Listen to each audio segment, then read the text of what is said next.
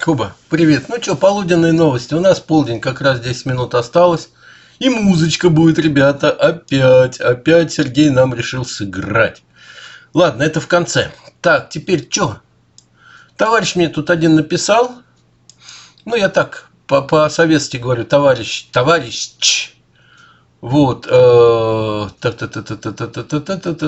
Док, можете меня поздравить. Я свалил таки из Мордора в USA. Опа, ребята, смотрите, это у меня уже не первый раз. У меня тут аура хорошая. На моем канале, на нашем канале, на нашем общем канале. И знаете, что он выиграл грин-карту в седьмой раз, с седьмого раза. Вы можете представить, а? Молодец. Вот я тут пишу, да, на моем канале процент выигравших больше. Так что поздравляем товарища вот этого, у него так какой-то законспирированный никнейм, но тем не менее он знает о каком разговор. Вот, от всей души. Здесь хорошо, ребят. Так, дальше, что такое? А, вот мне ссылочку прислал. У меня столько корреспондентов. Ой, ой, в России взялись за контроль над кабельными телеканалами. Вот так вот, ребята, вот так. Минкомсвязи предложила обязать кабельных операторов устанавливать специальное оборудование – который позволит Роскомпозору отслеживать весь контент каналов. Опа, вот так вот, ребята. Ага, тут вот где-то еще подробности было. Да, по задумке Министерства средства технического контроля, в кавычках, должны устанавливать в сетях кабельных операторов за дистанционного контроля и надзора за исполнением законов. Какую именно технику нужно будет устанавливать, не, не уточняется. Я помню, у нас в Дмитрове, я когда жил в Подмосковье, там только начали делать кабельные. Причем просто провода кидали там с крышу на крышу, да. Вот. И по ночам гоняли порнуху. Придурки. Вот так вот. Я почему знаю, меня туда приглашали работать, я к ним даже заходил. Вот. Но для меня по крышам лазить, ребята, это как-то не очень. Но зато я потом сумел к ним подключиться. Так хитро, очень хитро подключился. По-хакерски. В МИД России оценили слова генсека НАТО о Гитлере, Сталине и ИГ. ИГ. Запрещенное ИГ. Он поставил в один ряд. Вот так вот. Ну, в общем, ну, надо сказать, что МИДу России это не понравилось. А мне тоже не понравилось, ребята. Не договорили, еще Путина туда же надо. Вот прям в эту шайку-лейку. Тем более ИГ это его изобретение. Так, дальше что еще? В Дзержинске произошел взрыв на заводе «Кристалл». Вообще как-то очень интересно. Полностью разрушен цех 15 на 12 метров. Здание цеха по производству взрывчатки. Но пострадавших нету. Как это так может быть? Взрыв на заводе, по предварительным данным, произошел из-за нарушения мер безопасности при производстве работ во время разгрузки материалов. Ну, кто-то это разгружал, и жертв нету. Наверное, они в пыль просто в пыль разлетелись, и значит и нету. Был человек, и нет человека. Лада Ларгус для экономных поступила в продажу. Я вот начал читать, думаю, что такое Лада Ларгус? Будет работать на, на бензине и на метане. О как, на бензине, на метане. Я посмотрел, что за машинка, да. Ребят, да это Нива. Вот она никак не меняется. Вот в каком году я работал в Первопесьяново? Это, ой, после, я закончил институт в 79-м, уехал. Ну, 80-й, пускай год, у нас там председатель купил себе Ниву. Вот сколько лет прошло? 20, да здесь 20, 40 лет. Почти, да, 40. Не почти, а 40, 79 и 19. И та, все та же Нива, да. Все тот же чай. Ха-ха-ха. Нормально. Власти Чечни объяснили снос домов в родном селе Кадырова. Ну, а как они объяснили? Да что особенного? Господи, ничего, ничего удивительного в этом не вижу. Мы одобряем такой подход. И это сказал Джамбулат Умаров, министр правительства Чечни по национальной политике. Да ну, конечно. А что тут особенного? Не убили же никого. Дольф Лунгрен хочет, встретить, хочет встретиться с Путиным. Я не знаю, говорил об этом или нет. По-моему, я пропустил эту новость. Дело в том, что он играет в фильме приговоренный к подвигу и исполнит роль начальника керченского гестапо Гюнтера Гельдмана. Ну вот он хочет с Путиным поговорить, как это работать в гестапо. Путин в этом разбирается. Хорошо. В США пожилая женщина помогла сыну нетрадиционной ориентации стать отцом. Сыну. Ну, там двое мужчин друг друга, значит, влюбленные, да, решили завести ребенка, начали искать суррогатную мать. А донором для яйцеклетки э, согласилась, донором яйцеклетки согласилась стать сестра одного из них, а затем пара начала искать суррогатную мать. Однако пара, проживающая в консервативном штате Небраска, побоялась обращаться в агентство, так как не знала, как там отреагирует на супругов геев. Для справки, ребята, Иллинойс очень консервативный штат. Наш вот штат Чикаго, да? Ну, Чикаго – это самый большой город. Здесь очень консервативные, все жуют консервы. Помочь вызвалась 61-летняя мать Элджи, жительница города Омаха. Омаха. По ее словам, она даже не сомневалась и была счастлива принять участие в этом событии. Прошла подготовку, 61 год, забеременела, родила. Нормально. Молодец. Вот мама. Все для сына. Да. Статья о суперспособностях российского спецназа вызвала скандал. Ой, скандал. Откуда взял эту информацию? Это знаете кто? Какой-то полковник. Э, какой-то настоящий полковник, да. Фамилия-то, фамилия полковника-то, а? Не знаю, нет, нет фамилии. Ну ладно, неважно. Ну, в общем, где-то они надыбали. А оказалось, что это все строго засекречено. Они на расстоянии могут сорвать спутники. Вот солдат лежит так, смотрит в небо. Бах, и спутника нету. Точно говорим. Зуб даю. Так, горящие Hyundai и Kia. Все оказалось очень серьезно. В США, вот смотрите – Два новых расследования по факту возгорания южнокорейских автомобилей. Я всегда говорил, что они слишком высоко взлетели. Слишком, слишком. Число жалоб на горящие Hyundai и Kia достигло более трех тысяч. Что там такое? Не знаю. Кто-то говорит, только после аварии, а вот у одного просто на парковке загорелось. И, в общем, вот так вот так. Вот. А тут парень пишет в этом, в комментариях, у меня Соболь сгорел. И все сужусь, я не знаю, что такое Соболь. Какая-то машина. И все сужусь то со страховой, то с дилером автогаз. И конца края не видно. Да, а вы тут про корейцев. Ладно. Уралы без номеров. Кто приезжает разгонять протесты на Кавказ? Тут целый ролик. Опять без номеров. Опять зеленые человечки приехали. Ну да а что, росгвардейцы какие-то, да, и Уралы без номеров. А как же они едут по, по дороге без номеров? Это, это называется беспредел, ребят.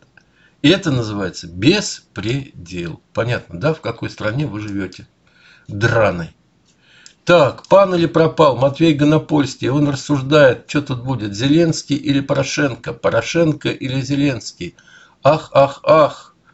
Короче, Порошенко принял вызов Расчет Зеленского был прямо на, э, на, был на то, что Порошенко струсит. Расчет был на то, что Порошенко испугается, что на стадионе соберутся 70 тысяч сторонников артиста, которые зашикают, засвистят, залюлюкают Порошенко.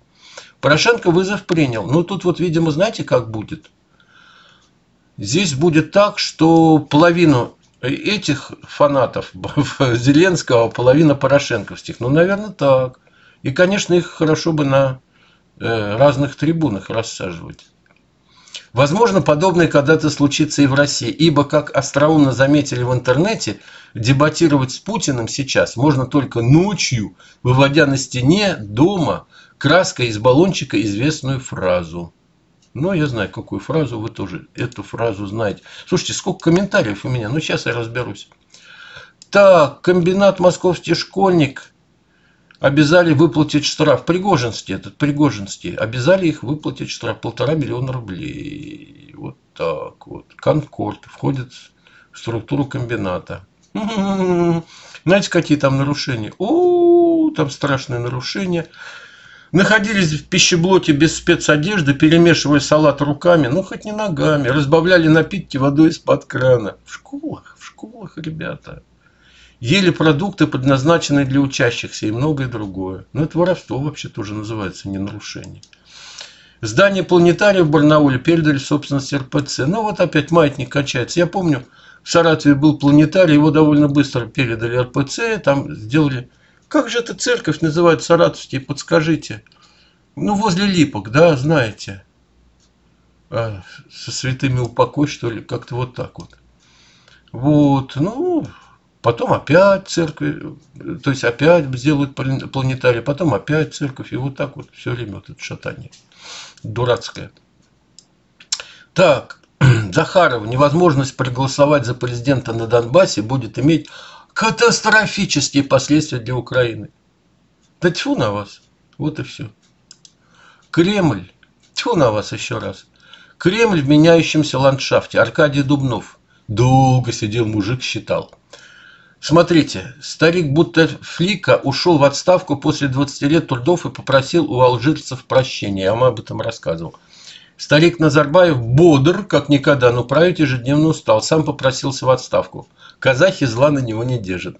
Старика Каримова вовсе с нами нет. Старик Сарксян командовал, но уж больно он армянам надоел. Дядько Лукашенко 25 лет мечется, нервничает, удачно шакалит. Правильно, он шакалит, он вор.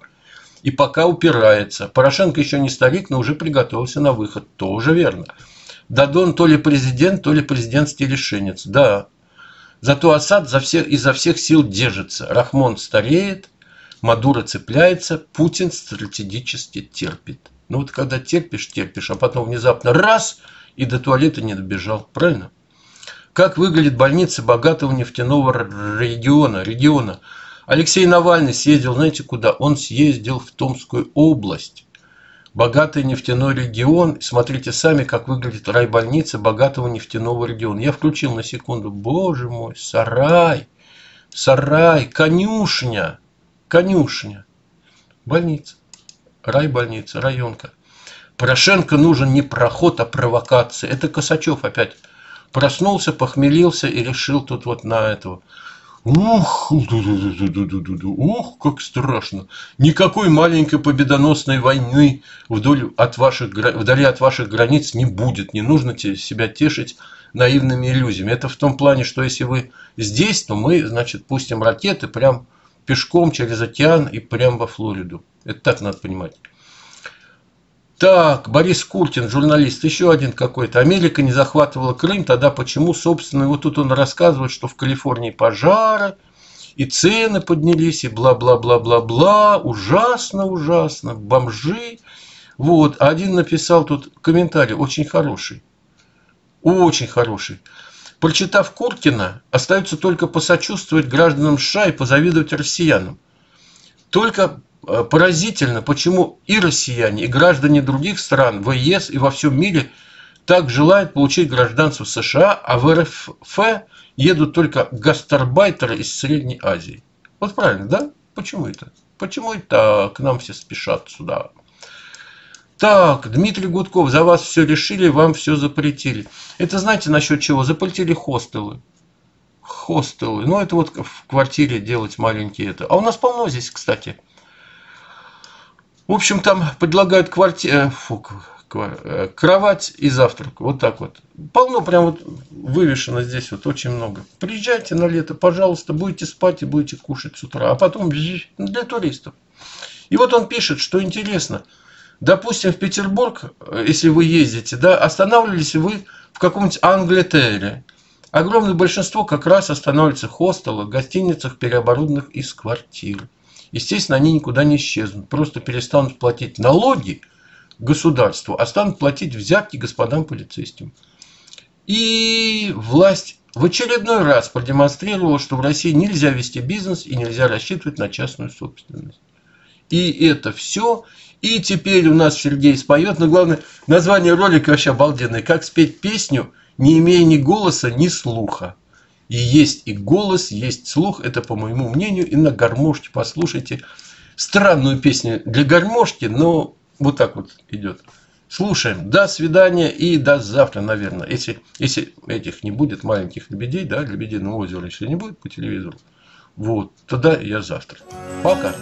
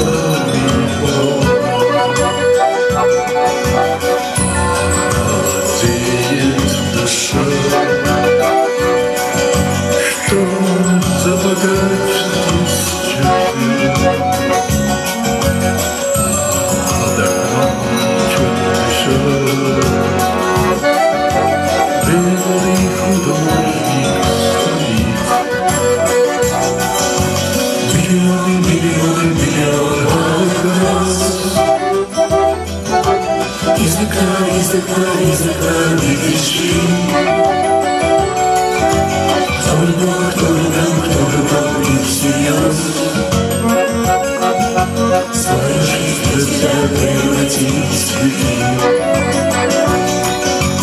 Миллион, миллион, миллион алых роз Из окна, из окна, из окна летишь Кто влюблен, кто влюблен, кто влюблен лишь сейчас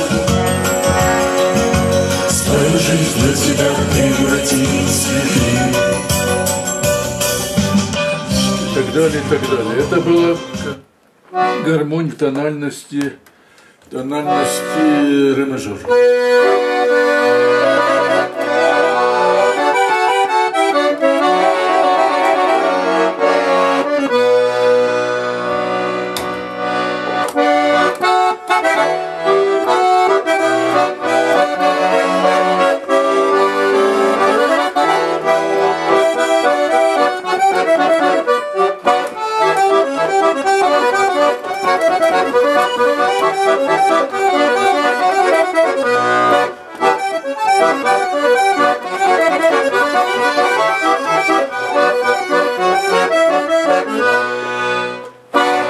Таким образом, дорогие друзья, эта гармонь является ре мажорной, а песня звучала, конечно, в тональности си минор. Так что вот эта гармонь тульская, она идет в тональности ре мажор.